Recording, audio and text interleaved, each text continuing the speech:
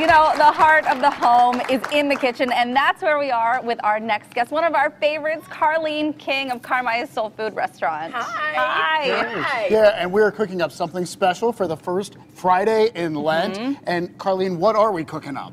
So we're cooking up a soul food twist to Lent. So we're going to have blackened tilapia, and we're going to have Brussels sprouts with uh, fire roasted tomatoes and garlic and onion. So traditionally in soul food, you make it with okra, but I hate okra. Don't tell my mom.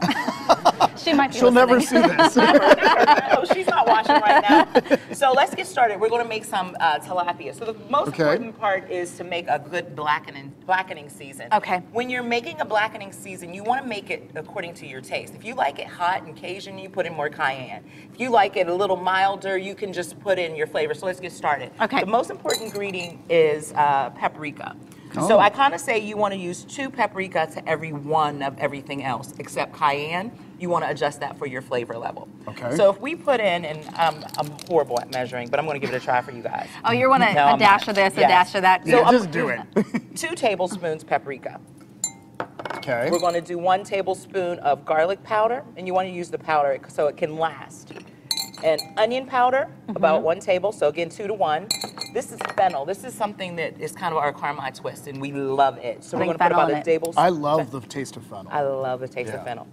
And this is brown sugar. So the brown sugar is going to help it brown more quickly. Caramelize a little. Caramelize, yeah. yes. And then it's going to give it a, that little flavor. So we want to get like, we might have to use that. I'd have brown sugar to everything if I could. Yeah, It why doesn't not? make sense all the time, but I would. Time. Uh oh, here we go again. Not again, y'all. That skillet's getting hot. and pepper, and uh, this is a cayenne. Oh, So I'm going to make it medium for us. Okay. That's probably good. So you just want to get everything in there, get it mixed, get it Mm-hmm. all together, and that's all. Well, that's And super easy. Super duper easy. I'm gonna massage it on. Let's get the hands in there. I'm better Both with sides of the tilapia. You really want to massage it on both sides. You see that color start coming through? Yeah. Get Now- it on both sides. Go ahead. Can you use a different kind of fish if you don't like tilapia? If you have something else Oh, you on can hand? Use okay. absolutely any fish. You can use. We do catfish at Carmi, um, and we do blackened tilapia. We do blackened salmon as well. Oh, I've So- had that yes, actually. Yes, yes, yes, yes. So we blacken a lot of things. You can blacken pork chops and chicken. So blackening is a universal spice, and it works. And it uses uses kind of very little oil. Um, Mm-hmm. So it's like a really good alternative. Let's see how this goes today. It's gonna go. All right, I'm just gonna stand back with David. oh, good. Oh, that was so You're gentle so good. and mild. You're so good. All right, so let's go ahead. I'm gonna switch Okay. places. Okay. All right. All right. I'll come over here and man the tilapia. So this part is super duper easy too. So we have our Brussels sprouts. These were huge, so we kind of quartered them, but you can have them, just kind of get it in there. You want to get in some olive oil, Mm-hmm. Olive oil is great for everything. everything. Olive oil and butter. yes, you're right. Now at home What? I put bacon in it, but it's Lent.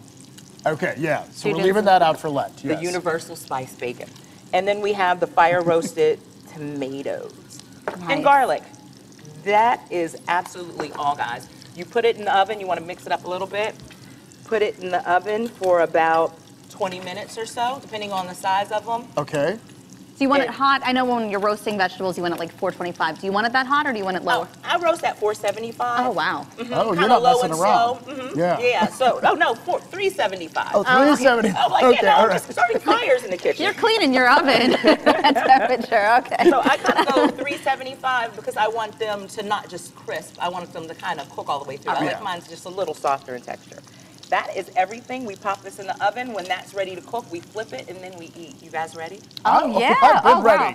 wow. I'm- I- oh, so you have finished products back here. She is ready I didn't even see that. All right, we've got to make space for that.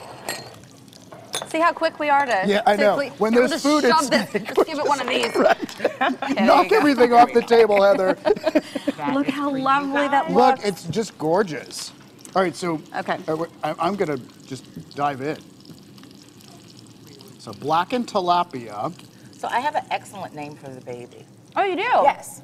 So my name is Oh, that is Carleen so Lane. good. Mm-hmm. Kari Lane, if it's a boy, and just Carleen if it's a girl. Excellent name. Um, my husband's in the audience. You can talk to him. He's he's Right settled on Rocco. But you guys can talk about that after the show if you need to. So I'm fine with Carleen, that. this is fantastic. So good. Thank I want to try really these. is. No, we have to try these. Those are delicious. Now, we learned some people just call them sprouts, not Brussels Oh. sprouts anymore. Like Oh. the, the cool kids are saying that. That's I'm what we heard. not the cool kid. Yeah, um, neither am I. I learned that from Jeff, our photographer. I feel like by the time it gets to me, it's not cool anymore. So I'm just gonna go back to Brussels sprouts. How quick and easy was that? Perfect. Great for tonight. Great. Thank you so we much. love it when you feed us. Thank you. I do. Thanks again to Carleen King, owner of Carmi's Soul Food Restaurant with her husband Mike. And you can find it on the south side at 1825 East Carson Street.